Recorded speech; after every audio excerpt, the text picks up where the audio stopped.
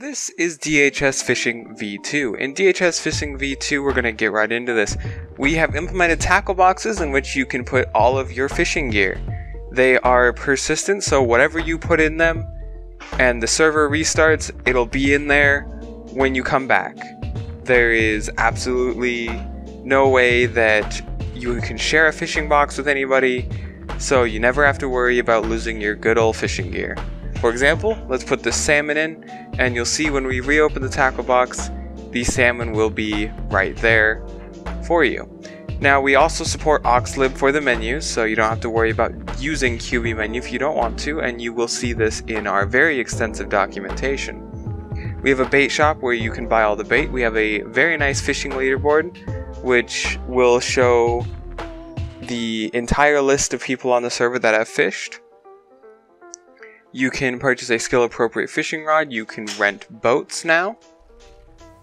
On a rented boat, you can let down an anchor so that way it'll anchor you to the oceans. That way you won't move and you can simply fish from there without moving.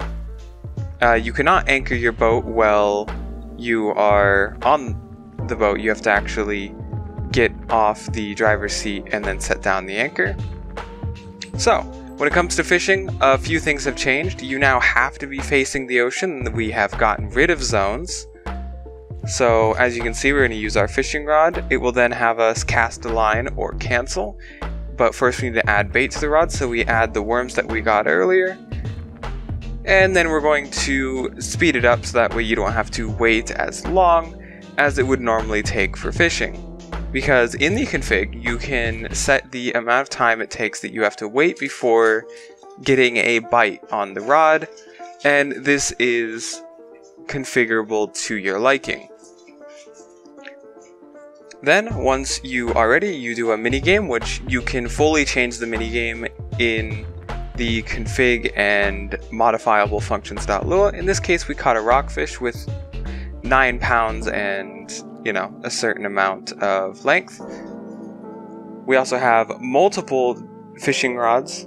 If you try and use a fishing rod that you are not the correct level for, it'll say you're not the required level. This stops your players from using rods that they shouldn't have.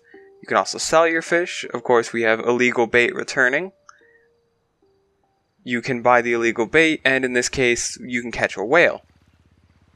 Um, you can then go and sell the whale, and you can only sell from night.